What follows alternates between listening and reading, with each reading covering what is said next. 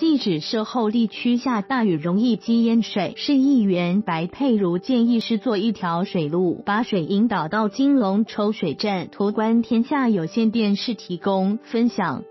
细指涉后地区下大雨容易积淹水，如何让康宁街这一侧的排水能够顺畅的穿越过高速公路？今六日上午，市议员白佩如就再度邀请相关单位人员进行讨论，希望同新路要穿越高速公路的同时，也将排水问题纳进去。另外增一条水路，把水引导到金龙抽水站。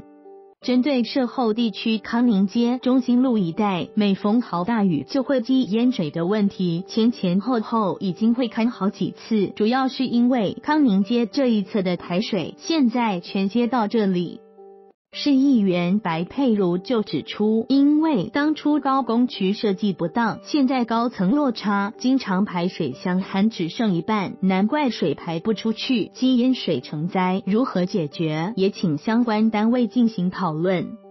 市议员白佩如表示，首先就是将省沙池的地方增设马达，另外就是中心路涵洞口的北风抽水站，在明年防汛期前要将老机具都换新，但难度最高的还是康宁街这一头的排水，希望同心路要穿越高速公路的同时，能够将排水考量进去，但不要再和目前的同心路一样，再走福德二路的大排，怕本来就很塞的排水没。办法负荷，